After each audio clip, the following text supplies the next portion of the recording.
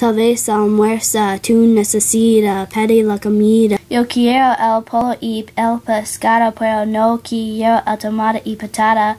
Yo prefiero el sándwich de jamón y queso.